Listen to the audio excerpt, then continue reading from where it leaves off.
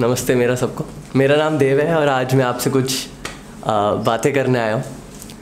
तो बेसिकली आज जो मैं कविता मैंने लिखी है, वो है नम्बनेस के ऊपर। मतलब जब आप किसी के साथ होते हो और जब वो आपको छोड़ के चला जाता है तो कुछ याद में उसकी एक आदत रह जाती है है ना?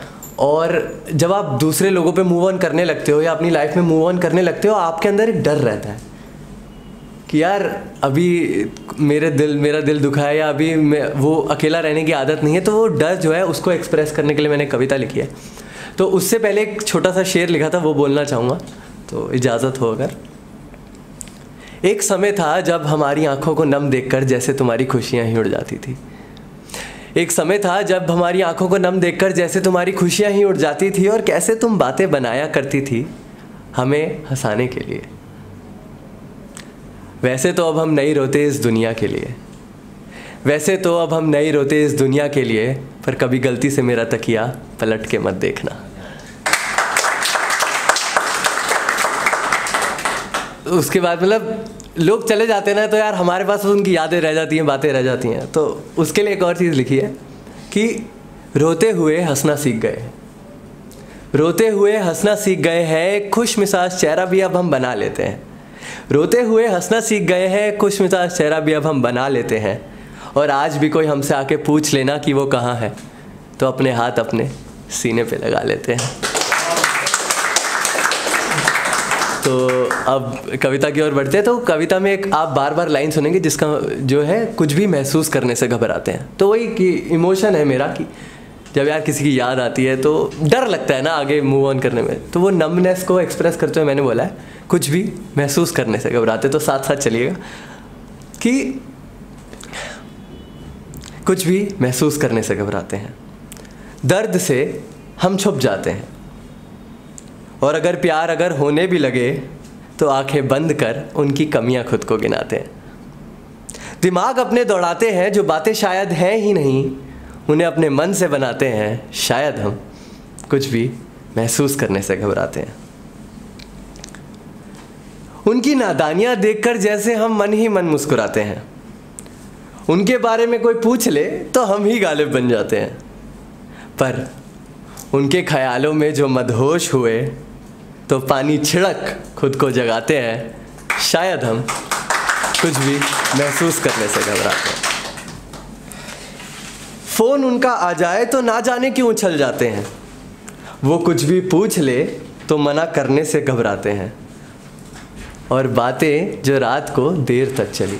अब होता है ना, चैटें चल रही हैं। तो बातें जो रात को देर तक चली तो बहाने मार कर सो जाते हैं। शायद हम कुछ भी महसूस करने से घबराते हैं।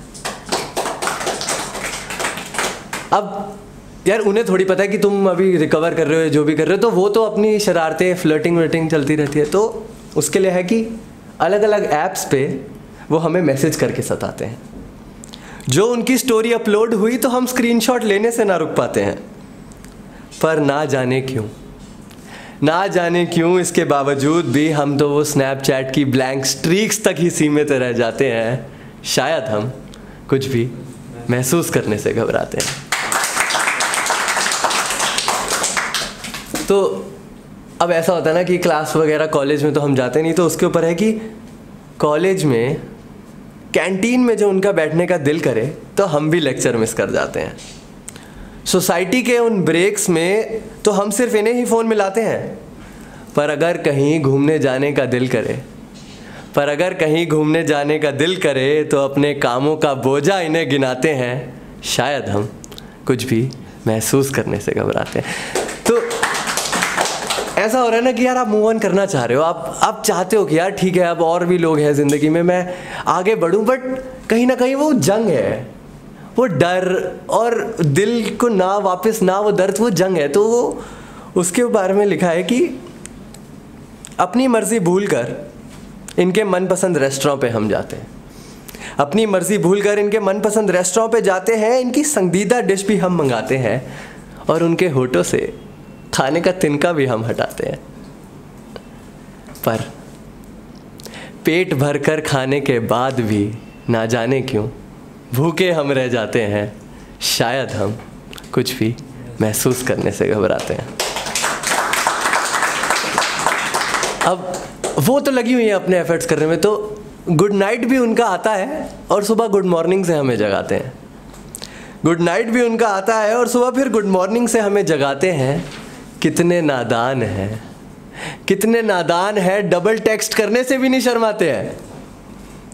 बेझिझक अपनी बातें हमें बताते हैं। अभी आखिरी आखिरी शेर है तो ध्यान से सुनिएगा कि वो बेझिझक अपनी बातें हमें बताते हैं, हम उन्हें सुनना तो चाहते हैं। हम उन्हें सुनना तो चाहते हैं, पर समझने से कतराते हैं, शायद हम कुछ भी महसूस करने से घबराते हैं।